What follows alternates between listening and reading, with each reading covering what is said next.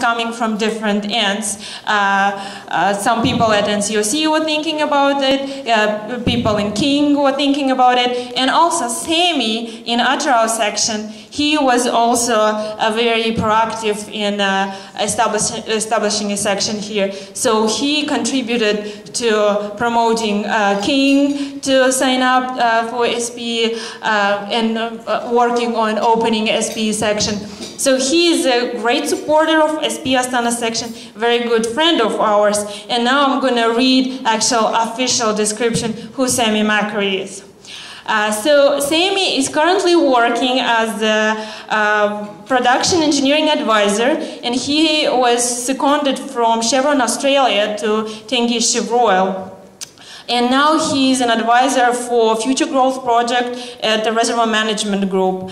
Uh, Sami uh, worked uh, as a chief reservoir engineer before Chevron in IPR group of companies, a Dallas-based company.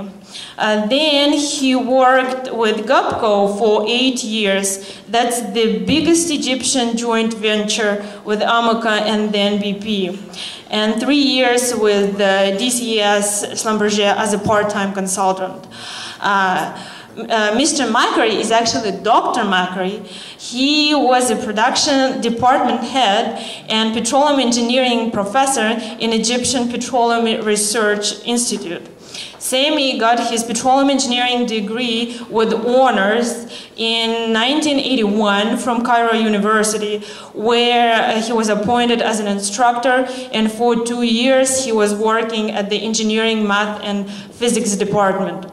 Dr. Macary has a Master of Science degree in, uh, that he graduated uh, in 1985 and PhD in 1988 uh, in petroleum engineering from Azerbaijan Institute of Oil and Chemistry. So he speaks Russian and he understands it perfectly.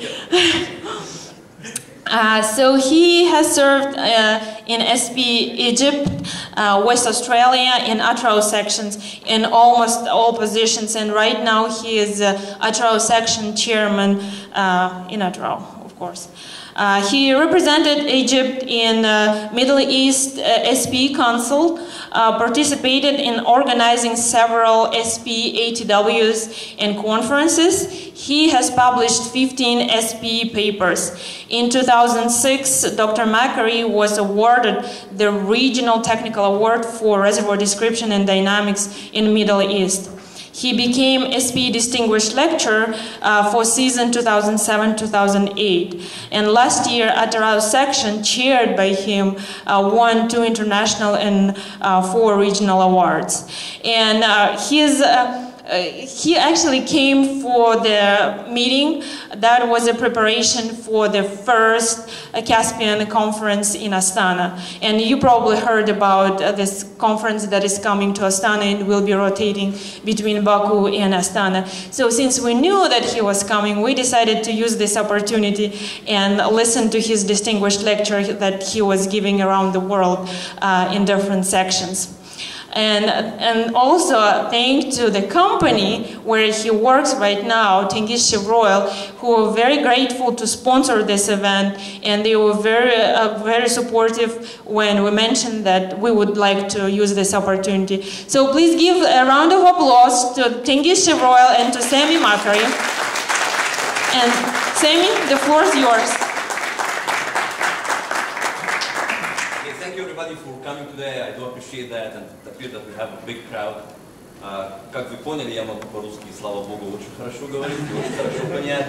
Но uh, I do believe that the, the, the um, official language of our industry should be English. So that's why uh, I'm very unbiased and I'm very neutral in saying that. Because, yeah, actually, neither Russian or English are my native language. So, but still, this is the language of the industry. I do appreciate the, uh, the introduction. Uh, I became sweaty already with all of these good words. So thank you very much for that. And this again, you know, it's not about the distinct lecture here, but it's about SPE. So SPE is a wonderful world. But whenever you put, you know, uh, a small, small part or small effort or contribution, you will get integers, you know, in response, integers. And I assure you that. And I love to introduce myself all the time like uh, I got son of SPE, uh, it's something that definitely even prestigious to belong to. So I urge everybody here who is not SPE member to become already and join this fabulous international organization uh, that will add a lot to your knowledge and information and your career development. Uh, I think that we have one here, maybe even right to the computer. Thank you very much. the Distinguished Lecture Program is one of the very strong SPE contribution to the Technical Society. And uh, actually, it's one year term, uh, and then every year SPE changes the roster of the Distinguished Lecture. But in case the topic is still valid, uh, you will get it as uh, SPE Distinguished Lecture. So actually, this is from the program of 2007, 2008.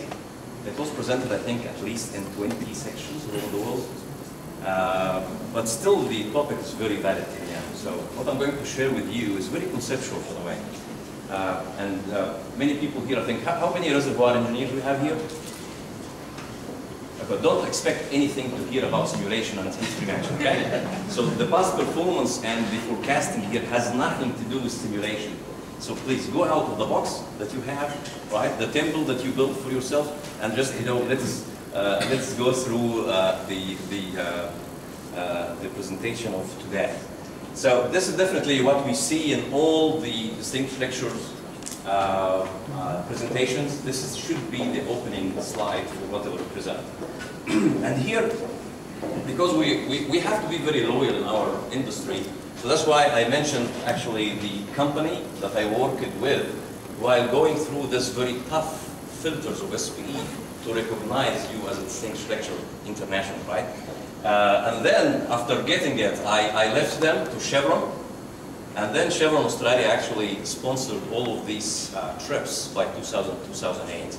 Uh, but currently, as you can see, that I'm working with TCO, uh, so it's very nice to have this uh, history uh, in whatever we present. So bridging over uncertainty, past performance, and forecasting, the, the, the message is very conceptual here. So we have huge, huge, huge volume of data and information, uh, and we still need more. We still need more, which is good. We are not against that. We are all talking about surveillance. But the issue is, can we create more value out of what we have in hand? And the answer is yes. Definitely yes. So, quick check. Yeah. Can people in the back hear well? Right. Right, good, thanks. Uh, yeah, I don't need a mic, I know. Right. Irrespective of my, uh, yeah. So, so here, here we have two codes actually, which I did like that serves, you know, the, the, the message that I'm going to convey which is we always do, we always make decisions, and the decisions have a sort of risk, right? So it depends upon you whether you would like to make these decisions or you would like to stay in your corner and feel you know, comfortable that I'm not going to risk anything. Кто не рискует, то и шампанское не пьет, да? Иногда говорят, кто не рискует, то не выигрывает. So risk is part of our industry, but you have to understand what's the tolerance that you can accommodate as a risk taker right? It's quite different if you have a decision when you are single and the same decision when you have a family, right? Correct? Different things. So, and the second is definitely, as I said, that how much can you tolerate? Uh, can you tolerate something like, you know, 20 parts per million H2S? Or you can. 10 parts per million? Or you really can. So this is very important to understand and this will frame your decision. So this is outline of, this is just, you know, just a, a quick quote uh, about uh, something to help understand my uh, message today. So we are, we are going to talk about risk versus uncertainty, uh, probabilistic approach, uh, different tools, and what's past and what's, what's forecasting. So this very simple definition, many, many of you will accept it and others will not, but again, take it, you know, just as, as an opening, we can say uh, idea about how to differentiate between. If you are going to play or gamble, right, just to kill time without showing money on the table, there is uncertainty. You are going to lose, you are going to win, it doesn't matter, right? But if you are going already to put money on this, so this definitely would be a risk. And this risk is coming from the fact that some of the outcomes of the game may hurt you. Is that correct? You got it? Easy, right? The difference between uncertainty, yes, it's money.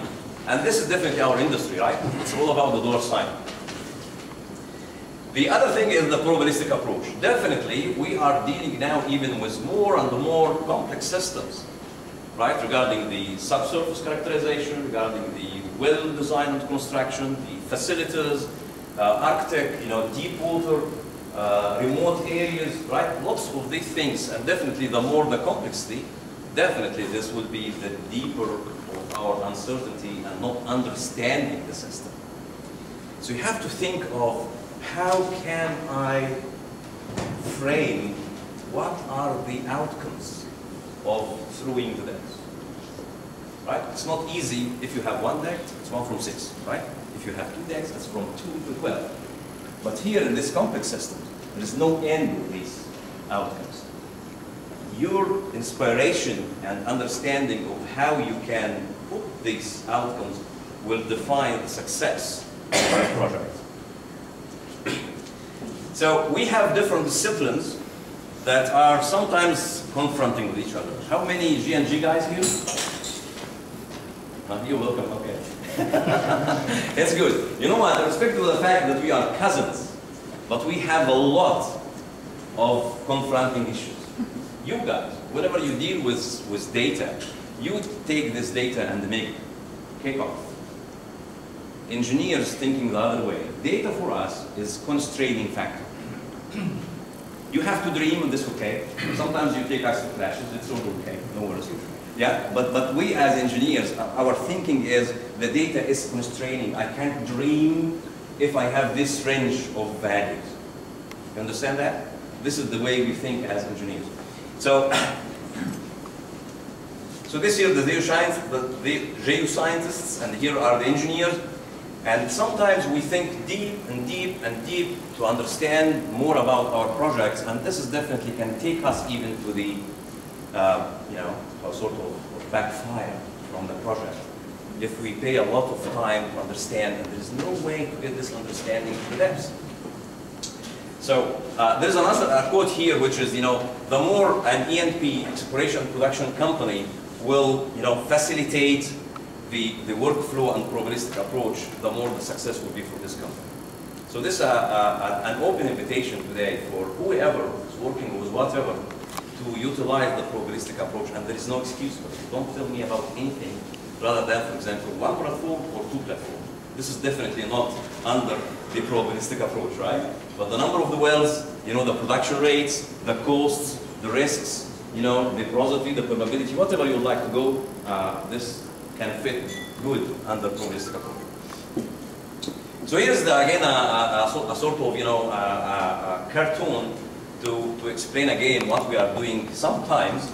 So the conventional uh, technique is to go, to go, to go, to go, all paying time and, and, and money in order to come to a very deterministic approach. So our reserves are going, I, I, I wonder sometimes you see presentations and people are saying something, you know the incremental production rate is 7,332 barrels a day. Right? It's, it's, it's, a joke, right? So, sorry guys, don't go and put these things in your presentations. Right? These, these numbers have no meaning if you put it that way. But if you go and put it as a range, the increment will be from 7,000 to 7,500. This makes, it makes sense. so my, my, my, my, uh, my take here is uh, please don't, don't pay a lot of time and money in order to, cut, to, to come to this point, but cut the project here to get the P10, P90, and then take all of these resources for other projects of your portfolio. Monte Carlo simulation, definitely, I think everybody knows about it, and this is already in the, in the heart of the probabilistic approach, and it's easily that you, you are having, you know, a population of, what, 100 points of probability from poor analysis, for example, right? It's still a small sample of a big population. Monte Carlo offers you to go and take this 100 and make it already 10,000, right? By creating the random numbers. So it's easy to do this. And you will find, you know, a quote from me by the end of the presentation focusing on the, the, the facts that we, we need to, to go and work with this. And I'll show you examples here that you may never thought of what that the probabilistic approach of Monte Carlo uh, can help them. So what we are trying to get the industry into um, in order to resolve this issue and to get value of the data and, and, you know, and utilize the probabilistic approach and all of that is this roadmap, you can say. Uh, I'll, sh I'll, show you some jokes now from our industry, uh, just to explain how much do we need to unify our definitions and thoughts. This is a very, uh, this is a very interesting thing that, uh, you know, we have a, a, a, cumulative probability and the reverse cumulative probability, right? So the one is, is, is grows from, uh, from here to here is the cumulative, and the one that is reverse growing is the reverse cumulative. They are all the same, exactly the same, right? And this point is P10 and P90 according to what one you consider. And this one as well is P10, P90. The lesson here or the message here should be we are 80% certain that the value we are expecting of the reserves or whatever here is within 17 to 31. This is the message. 80% certain, right? And uh, that's why you will find in one project, the service guys are saying that, you know, the, the P10 of pressure is the most pessimistic, while the drillers are putting the P10 as the most optimistic for the rig to arrive. And we are lost.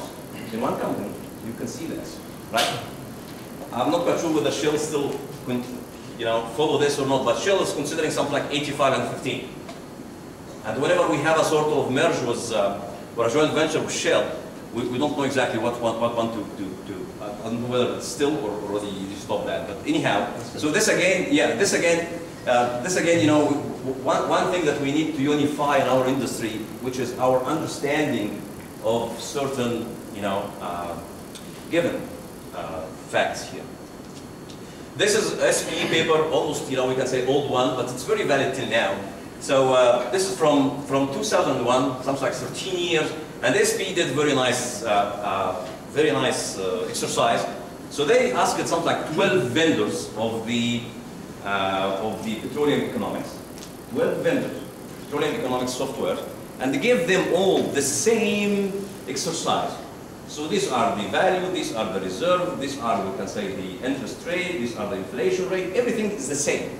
And you can imagine that the 12 vendors or manufacturers of software came with this, you know, distribution for the net present value, or this distribution of the internal rate of return. So you can find a company make it something like 100%, and the other is making it within 20, 30, or 40.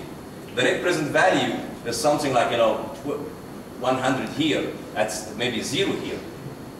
The same exercise, right?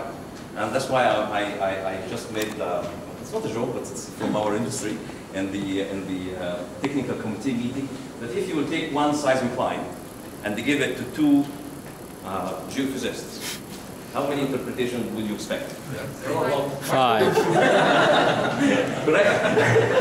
from, from two to five. Person, but still you, you are expecting a lot, right? So these are the things that we, we need to unify here. So uh, it's again, I'm not against you know different, uh, you can say reading of things, but still there are things that we have to agree. So sensitivity analysis. Sometimes we, uh, we plot things, and here is an example. Uh, this is the very famous plots that we received from whatever core laboratories, right? Which is, you know, uh, permeability versus porosity. When I worked for core laboratories uh, for about five years, uh, it wasn't said in the, uh, in the introduction, but yeah, this happened. I stopped core laboratories from putting a regression line. It's bad. You know, we are as if uh, enforcing people to follow something which is not correct.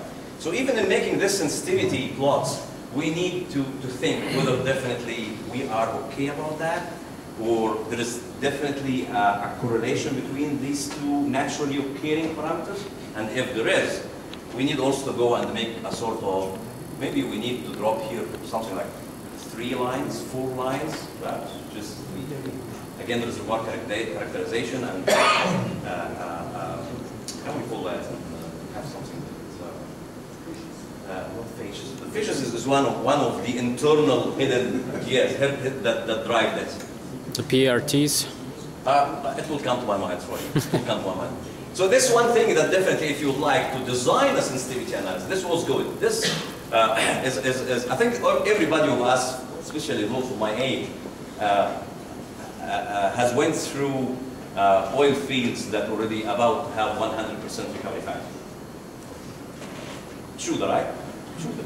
Like, so, there is no way to have this. There is no way. People have to go back, even not waiting until the 100%. If it goes already 40 or 50, it's too much.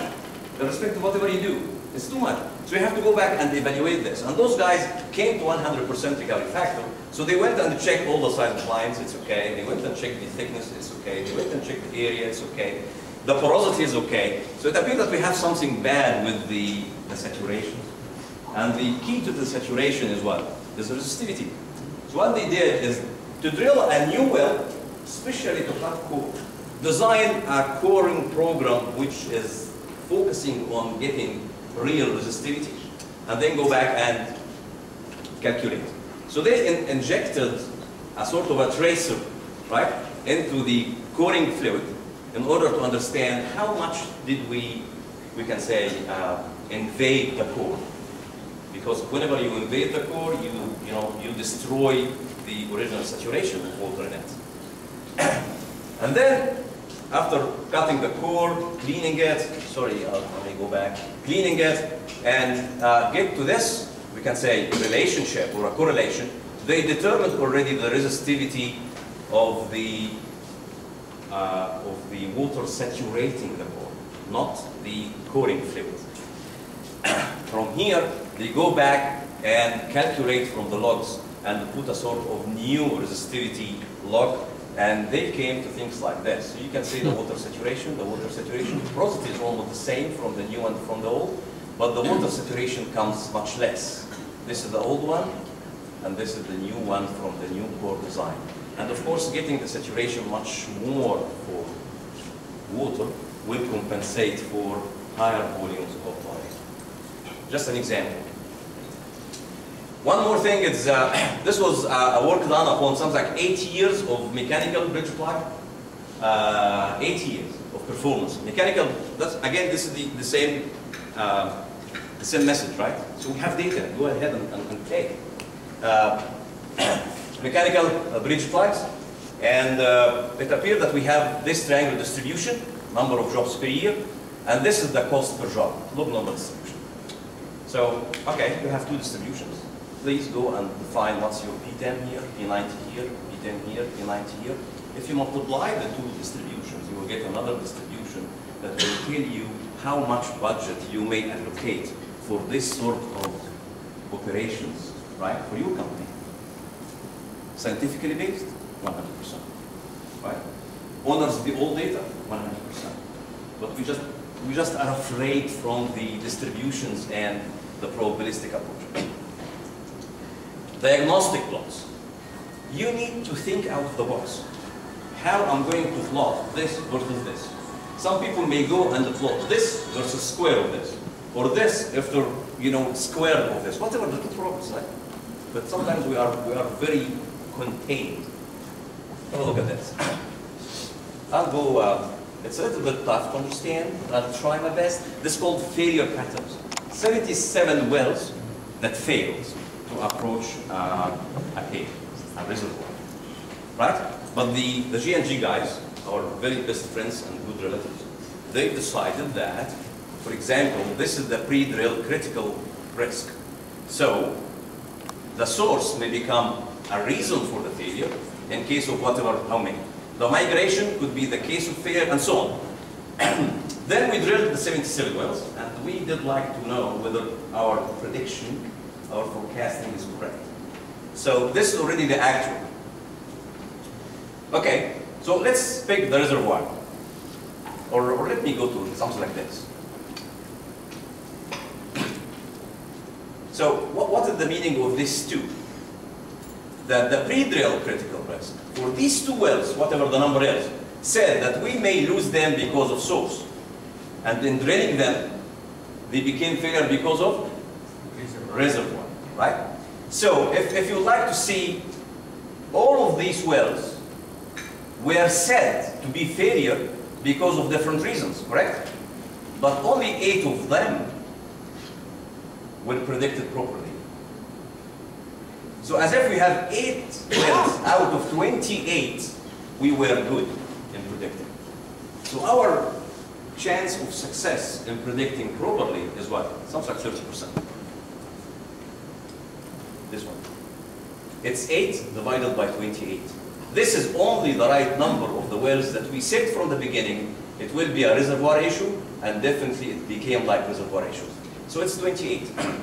So if you go and calculate all of that, you will find that uh, we are very bad in predicting reservoir failure. If you go by all of these, the least is what? Reservoir failure. It appears that we don't read properly from the seismic the reservoir characteristics. You got the message?